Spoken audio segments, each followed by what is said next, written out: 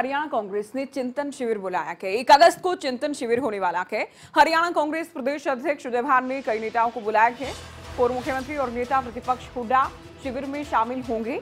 साथ ही सभी विधायकों, सांसदों, पूर्व सांसदों और पूर्व विधायकों को भी न्यौता दिया गया है। लेकिन बड़ी बात क्या है? बड़ी बात ये कि हरियाणा कांग्रेस प्रभारी विवेक बंसल को न्यौता ही नहीं दिया गया है। और ये अब तक की सबसे बड़ी खबर के तौर पर देखा जाए।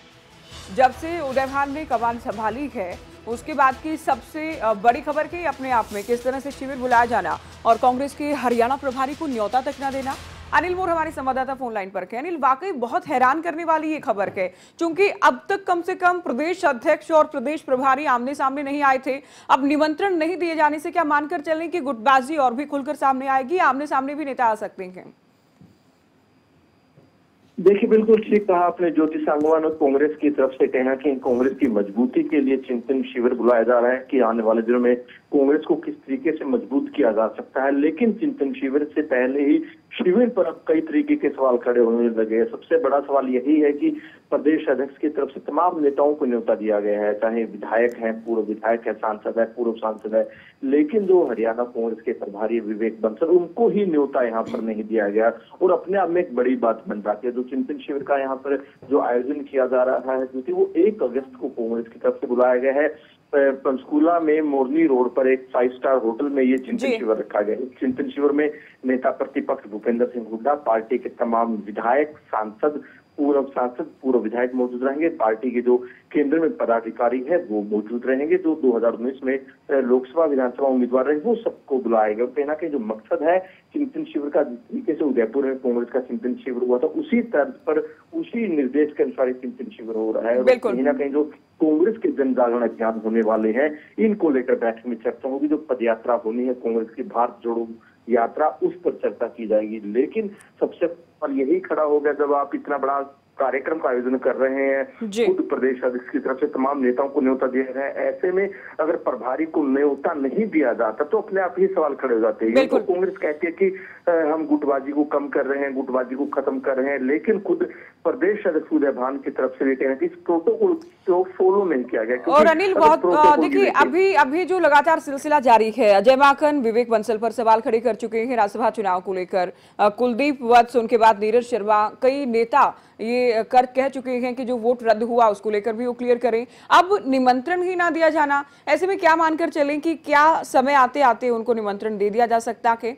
या फिर विवेक बंसल की ओर से भी कोई रिएक्शन दिया जाएगा इस शिविर को लेकर? देखिए फ़िलहाल तक जो प्रभारी विवेक बंसल की तरफ़ से इस पूरी मुद्दे पर कोई प्रतिक्रिया नहीं दी गई है वहीं जिस तरीके से चाहे विधायक कुलदीप वत्स की बात करें नीरज शर्मा की बात करें वो प्रभारी के ऊपर कई तरीके के सवाल खड़े कर रहे हैं। लेकिन कहीं ना कहीं जो हरियाणा कांग्रेस के अध्यक्ष उदय मान हरियाणा कांग्रेस में गुटबाजी कैसे खत्म हो? सबसे पहला दायित्व प्रदेश अध्यक्ष का बनता है क्योंकि उनको पूरी कांग्रेस को लेकर चलना है। तो ऐसे में अगर प्रदेश अध्यक्ष ही इस तरीके का प्रोटोकॉल फॉलो नहीं करते क्योंकि देखिए कोई भी पार्टी हो पार्टी में जो प्रोटोकॉल की अगर बात करें जो राज्यों के प्रदेश अध्यक्ष होते हैं उनकी जो एक तरीके से रिपोर्टिंग होती है वो प्रभारी को होती है क्योंकि प्रभारी केंद्रीय संगठन की तरफ़ से नियुक्त किए जाते हैं और कहना कहीं जो प्रदेश अध्यक्ष है प्रदेश अध्यक्ष एक तरीके से प्रभारी को रिपोर्टिंग करते हैं फिर प्रभारी को रिपोर्ट केंद्र आलाकमान को देनी होती है। कांग्रेस का भी संगठन है कांग्रेस का भी प्रोटोकॉल यही कहता है कि प्रदेश अध्यक्ष की एक तरीके से जो रिपोर्टिंग कह सकते हैं क्योंकि जो प्रभारी होते हैं प्रभारी को जो प्रदेश की जो यथास्थिति होती है वो रिपोर्ट आला कमान को देनी होती है। अब जब इतना बड़ा आयोजन है इतना बड़ा कहीं ना कहीं कांग्रेस को एकजुट करने की कोशिश की जा रही है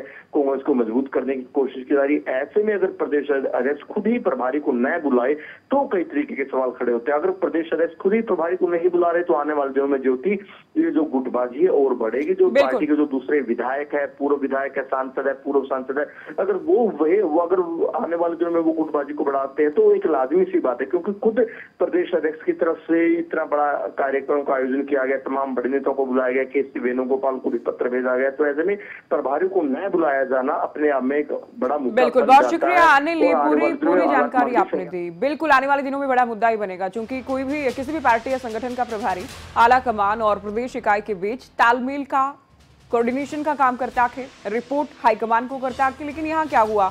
हरियाणा कांग्रेस में, कांग्रेस प्रदेश अध्यक्ष ने, कांग्रेस के हरियाणा मामलों के प्रभारी को शिविर के लिए इनवाइट ही नहीं किया है ज़ाहिर है इसे लेकर अब खुलकर बयानबाजी होने वाली है।